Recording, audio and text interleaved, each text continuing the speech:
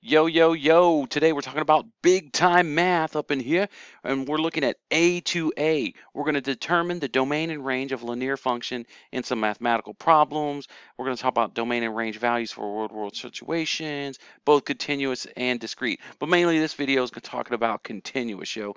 And we're going to be using this with inequalities, all right? So I'm gonna show you how to find domain and range using inequalities. Now today you had this assignment about domain and range, you know what I'm saying?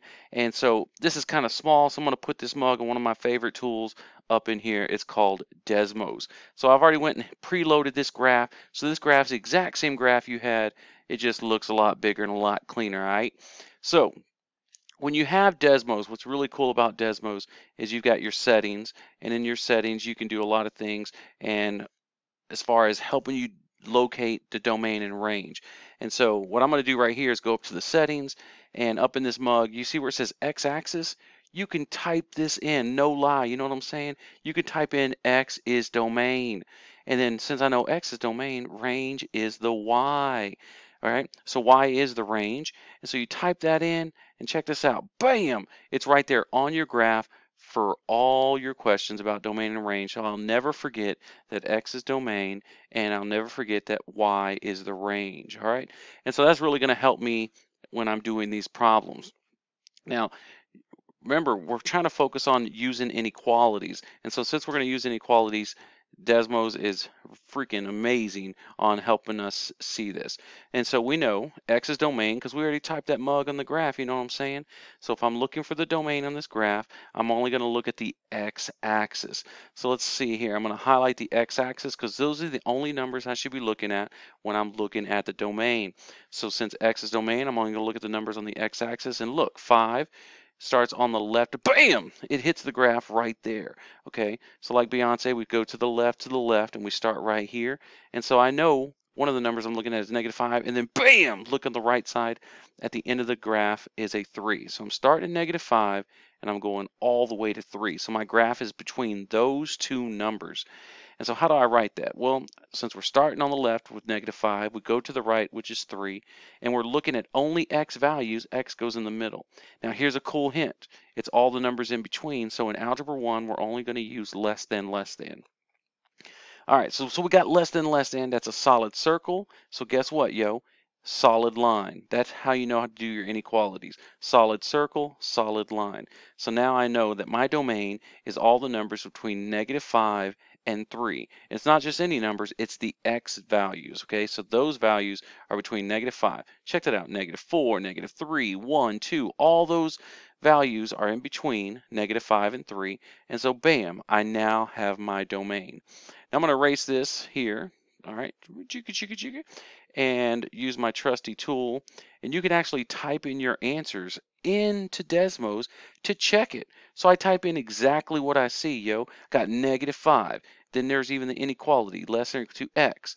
And then it says less than or equal to 3. Bam! And if you look at that, wow, my graph is in the shaded area. All the way to the left, which is negative 5, all the way to the right, which is 3. And if you notice, my lines are solid, just like my dots are solid. So that's pretty cool. And I could check my answer, and I know that my answer is between negative 5 and 3. Now, if we want to check range, I'm going to erase this x value right here. Now, remember, range is my y value, so I should only be looking at the y-axis. All right, so let me close this up right here, go back here. I think I'm going to, let's see. Look, yeah, there we go. Looking at the y is the range. So I'm going to highlight my y-axis, and those are the only numbers I should be looking for when I'm looking at my range. And so, like Drake says, started from the bottom. So start at the bottom, negative 2, up to the top, you know what I'm saying? Started from the bottom, now I'm here. And so my two numbers, I got two stopping points, so I've got two numbers in my answer on the range. The lowest point goes to the left, so that's negative 2. The highest point goes to the right, which is positive 2. And since range is y, we put y. And algebra 1, remember, it's always less than, less than. Now, how do we know if it's equal to? Well, we just said a minute ago, if that mug is solid, then we got a solid line. So solid circle, check this out, solid line. We got a solid circle, solid line. Bam! That's pretty cool, you know what I'm saying? So I know that's any number for on the y-axis between negative 2 and 2. See that? It could be 1, negative 1, 0, 1, 1.5. Any number between there is going to be part of my range. Okay, remember range, you're only looking at the y-axis. So I'm going to come in here my trusty tool and type in exactly what I see. Negative 2 is less than or equal to y, which is less than or equal to 2, and bam! Look at that. It only touches the y-axis at negative 2 and 2, and it shades all the numbers in between. And we said negative 1, 0, 1, and 2. It's all the numbers in between. So I'm going to erase these so you can see it. my graph is between negative 2 and 2. You've got to get in the habit of seeing that range is y, so I'm only looking at the y-axis, and domain is x, so I'm only looking at the x-axis, okay? So let's look at number 2.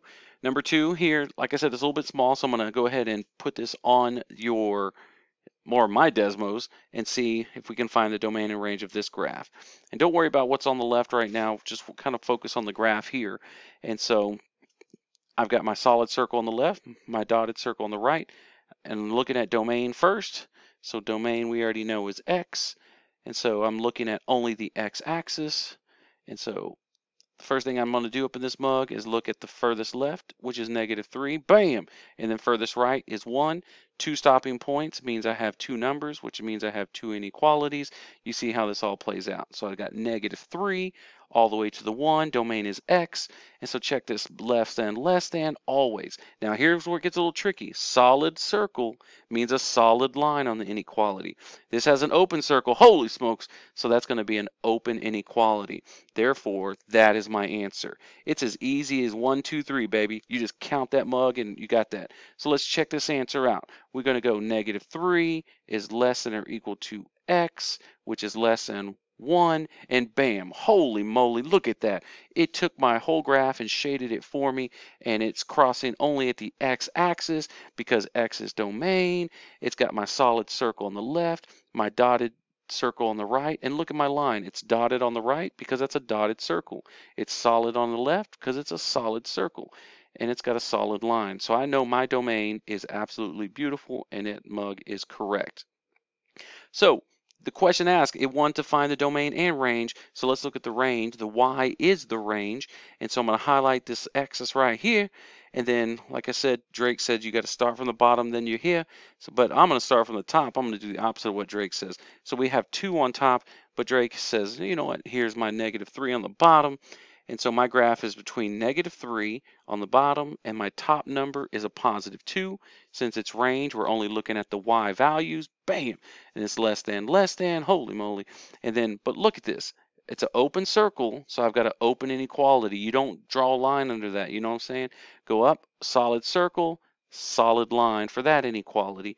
So there's my answer. It's as easy as just looking at the two numbers that are on the y-axis, okay? Because y is range.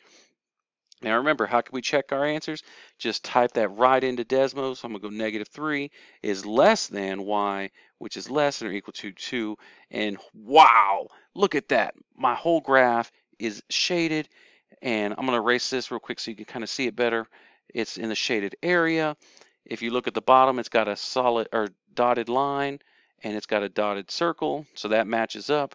You look at the top, I've got a solid line and I got a solid circle. Therefore, that matches up pretty sweet. And so I know I've actually put this in correctly, all right? So my range is negative 3 to positive 2, and I'm only looking at the y-axis. So domain is always the x's, range is always the y's. Got that? Pretty, pretty cool. All right, we're going to check out one more here, all right? And I think it's number 3. Now this one talks about you know, time and distance. But again, it's kind of small to see. So what I'm going to do is put this mug on a graph that is very easy for you to see. Okay, so I blew this sucker up. And we're going to do the same thing. We're going to find domain and we're going to find range. And we already have labeled x as domain, so that tells me I'm only going to look at what? The x-axis. And I like to highlight that. And I'll just highlight the x-axis. And let's see where we're going to start with. You always start to the left. My furthest left is 0. Woo! My furthest right is 4, and I can go up and see that it stops at 4. Now I'm only looking at the x-axis, so it's between what two numbers on the x-axis. I start on the left, which is 0. I go to the right, which is 4. Oh, yeah, and you always do the less than, less than. Now let's see. Over here on the left, I got a solid circle, so I got a solid line. And on the right, I got a solid circle, so I got a solid line. And so it's in between those two numbers, so we're good to go, all right? So that's pretty cool, all right? Now, let's check it out over here. We've got, check on our answer, 0 to 4. What? And it's in the shaded area, It worked out perfect. That's pretty cool, man. So I've got my 0 to negative, or 0 to positive 4, and it worked. Now, if I put a 5, look at that.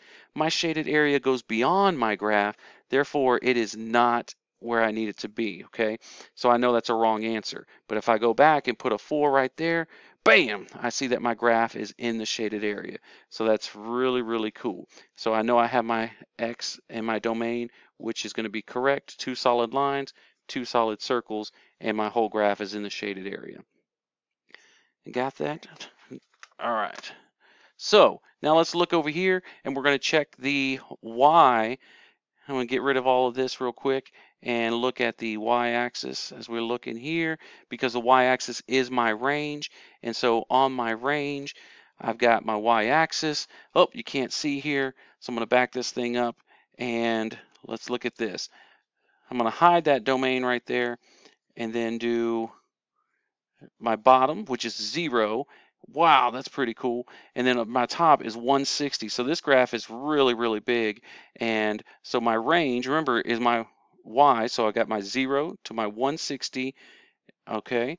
And it's always less than, less than. Wow, holy smokes. And that's a solid circle, so I got a solid line.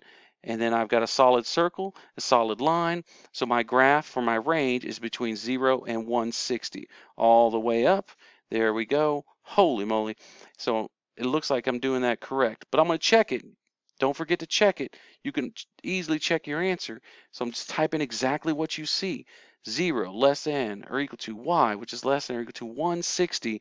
And whoa, my graph is in the shaded area. And you go to the bottom, it starts on the bottom. You go to the top, it stops on the top. And remember, range is the y-axis, so I'm only looking at the y values. And I know for sure that I've got it between 0 and 160. And I can show you my domain at the same time. Let's change the color. How about blue or green? And you'll see that my graph is in the double shaded area. So it's in the correct range area and the correct X, which is my domain area, okay? So folks, I'm begging you that domain is the X. Don't forget that range is the Y. You can easily cancel out answer choices when it says domain and it gives you some Y's, cancel those out. If it asks for range, cancel out the X's and you can usually cancel out half your answer choices, okay? So that's pretty cool. But I'm going to show you one quick example here. This one I thought was pretty cool because in every example I just did before, you know what I'm saying? I had two stopping points. We had two inequalities. But look at this graph. It goes on forever, forever, ever, forever, ever. So if it goes on forever and it's got one stopping point, you know what that means? We're going to have one inequality in our answer. Two stopping points, two inequalities. One stopping point, one inequality. So let's look at domain. X is domain, so we automatically know that I got to look at the x-axis. And look, it starts right there on the left at 2. Okay, so I have to write an x, and I have to write the number 2. Okay, and I'm going to put an arrow right here so you can see that it goes on forever, forever, ever, forever, ever. And we don't want it to stop, or we don't want, we don't want it to stop because it's never going to stop. And if I put 2 on the left here, it kind of looks funky. So I'm going to show you how to write this correctly. One stopping point means you're going to sit here and go x, and then you look at the number. What number x? 2. And since it's going to the right, it's all the numbers greater than 2. It's because it's going to go to the right forever. And then it's a solid circle, so I've got a solid line. So my domain is all the numbers greater than 2. How am I going to check that? X is greater than 2, and bam! Look at that. It shades everything to the right. I can keep going on forever, and all that's shaded because all of that is included. So the domain is x is greater than 2, so it's any x value to the right, and because it has one stopping point, then guess what? I have one inequality. All right, and then we're going to quickly do right here the range. Range is the y, and again, we still only have one stopping point, and so this is 7, and so I have my y value. So I'm going to type in y, and I'm going to, whoop, I just want you to see, I can keep going on. It's going to go on forever. So We'll look right here. Let me see if I can make this a little bit easier. So range is y. The y value I'm looking for on the x-axis is 7. I'm going to erase this here so you can see that it's starting at 7. It's a closed circle, so it's included, equal to, and it's all the numbers greater than 7, so that means all the numbers going up. Let's check it. y is greater than or equal to 7. Look at that. Bam! Everything on this graph is shaded, and I can keep going up, all that's going to be shaded forever. So I know I did this correctly. The thing about domain and range, you know you did it correctly if your graph is in the shaded area, folks. Okay, so please, please, please, I'm begging you, check your answers on Desmos because Desmos will show you, make it very easy to check your answers. And if you remember that domain is X and range is Y, you're never going to miss these problems, okay? Look at that. I showed you my domain and range the graph is still in both shaded areas. Domain is X, range is Y. Don't forget that, and you'll never have problems with these problems, all right? So good luck on your test, whatever you do. Peace.